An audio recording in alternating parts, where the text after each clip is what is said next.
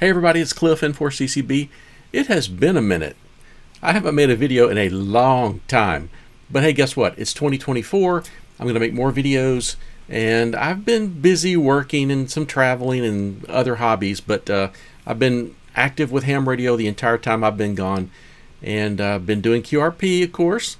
So uh, let's make a video. So what I want to talk about tonight is something that some of you are not going to want to hear. Now, unless you're a QRP nerd, you're not going to want to hear what I'm about to tell you. I've said this before. Some people in the comments have not believed me, but tonight I've got proof, and that is you have to quadruple your transmitted power in order to register one additional S unit on the other on the receiving end. Quadruple your power to give gives you one S unit. Okay? So I'm going to show you that, and then I'm going to talk about why that's significant. Uh, the way I'm going to do this is uh, I've got my KX2 and a dummy load connected to it. I've put it near a radio. Even though I'm transmitting into a dummy load, the radio nearby still picks up the signal, right? So uh, I've determined that if I set the KX2 at 0.3 watts, that registers S7 on my flex radio.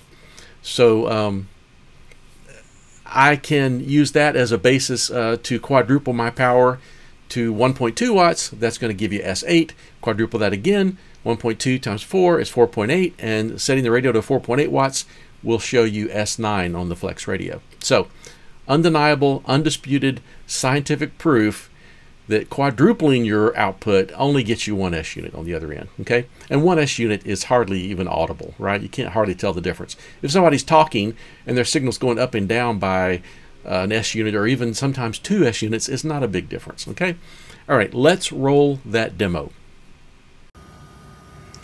Okay, let's run this experiment. So I've got my KX2 right here. I've got, um, well, the Flex radio is back there, but here's the computer running the software for it. And I'm recording the screen on that, so I don't have to use the camera to show you the screen. All right, so the first thing we're going to do is I'm going to go in here and I'm going to adjust the power to 0.3 watts. Okay. Now I'm going to hold this button down to tune. Now we're transmitting into our dummy load here. And on the screen, you'll see that we're at S7. Okay. I'll zoom that in for you. It's out of focus here, but anyway. All right, so that's that, S7 at 0.3 watts. I'm going to choose power again. And 4 times 0.3 is 1.2. Okay.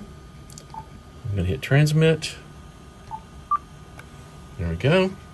There's 1.2 watts, and you can see on the screen the meter is showing 8 S units. Okay, great. We'll stop here. 1.2 times 4 is 4.8. So let's change this to 4.8. And you should see S9 here when I push transmit right now. Okay, 4.8. And sure enough, the screen shows S9. How about that? Interesting, right?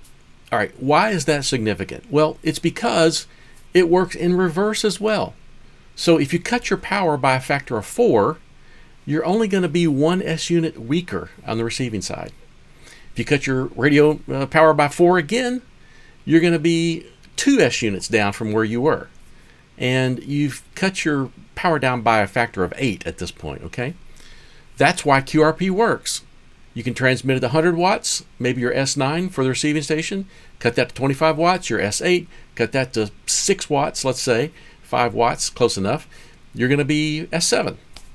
So um, that's why QRP is fun and awesome, but not quite magic because the science uh, is right there to show why it works. So um, there you have it. Uh, I know this is a little controversial. Some of you are going to be like, yeah, but, yeah, but Cliff, but, but what? If you transmit a stronger signal, your signal will be stronger, right? If you transmit more power, you're going to have a stronger signal. There's no denying that. Of course, that's right.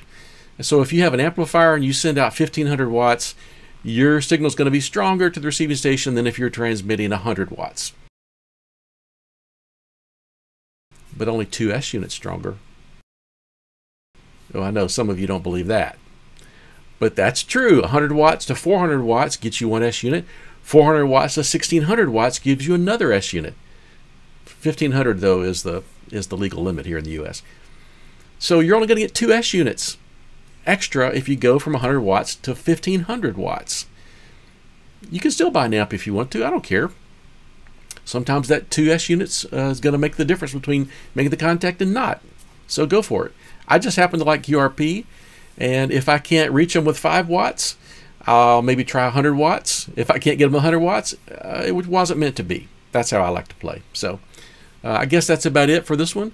Uh, thanks for watching. Uh, leave me some comments, but be gentle uh, as always, because life's too short, not for QRP, but life's too short for trolls in YouTube video comments. All right, see you later.